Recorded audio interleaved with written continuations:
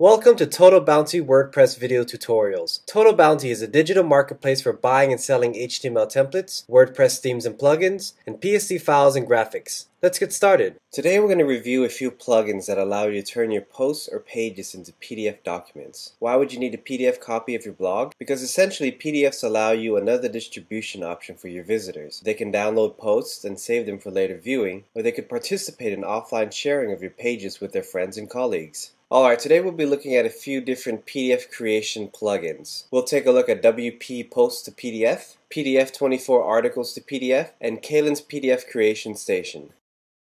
The first plugin we'll be looking at is WP Post to PDF. One of the first things you'll notice upon installing WP Post to PDF are these little PDF icons on the top of each one of your articles on your homepage.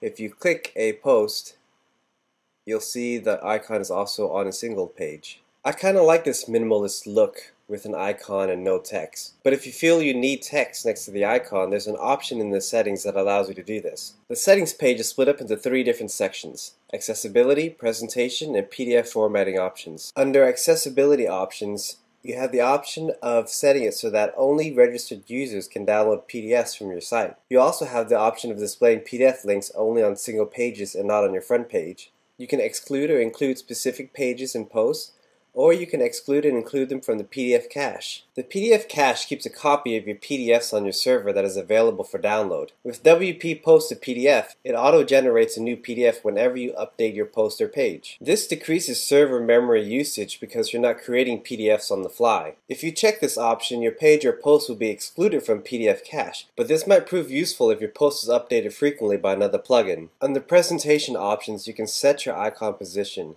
You can do before, after, before and after, or manual. If you choose manual, you have to input this code into your theme wherever you want the icon link to show up. Here's the code for the PDF download link. As I said before, you can customize it and add text after your icon position.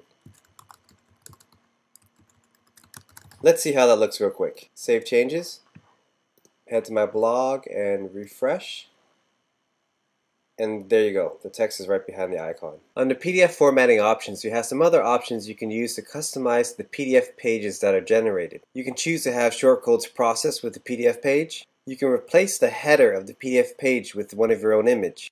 You can also customize fonts and font sizes. The next plugin we're going to look at is PDF24 Article to PDF. This plugin is similar to WP Post to PDF, however it has a couple extra features. The most notable of these features is the ability to email your PDFs to someone through a box at the bottom of your post. You can also replace this email box with a direct download link. You can also use this plugin in the form of a widget and have your email box or your download link in your sidebar. Taking a look at PDF24 settings, we see there's lots of room for customization. Just like WP Post to PDF, you can set it so that only users who are registered can download. You can customize the PDF title and the CSS style. You can customize the email people receive when they use the email box. And you even have different styles of email boxes or download links you can use, or you can customize their defaults. You can have PDF links on all pages and posts, or have them on everything but pages.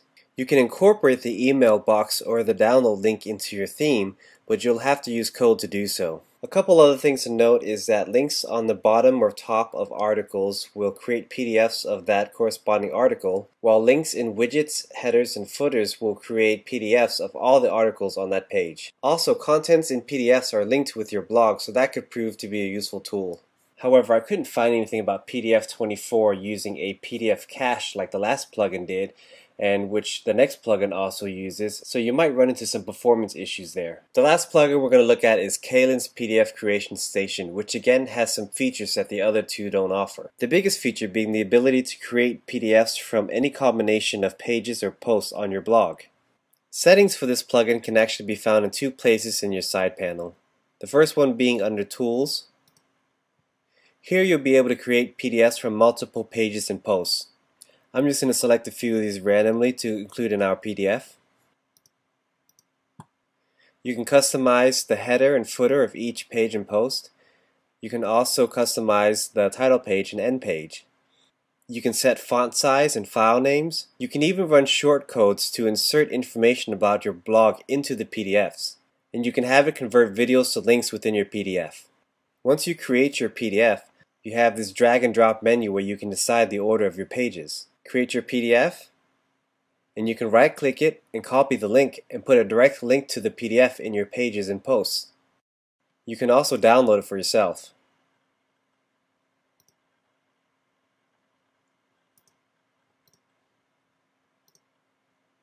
The other settings for PDF Creation Station are available under Settings.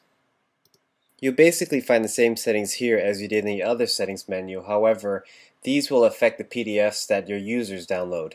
If you scroll to the bottom, you'll be able to configure where you want links on your blog, as well as the text on those links, and whether or not you want them on your home, category tag, and search pages. So that's it. I hope you enjoyed this tutorial, and I hope it helps you in choosing the right PDF plugin for your blog. Thanks for watching. Visit the TotalBounty.com blog for more WordPress tips and tricks.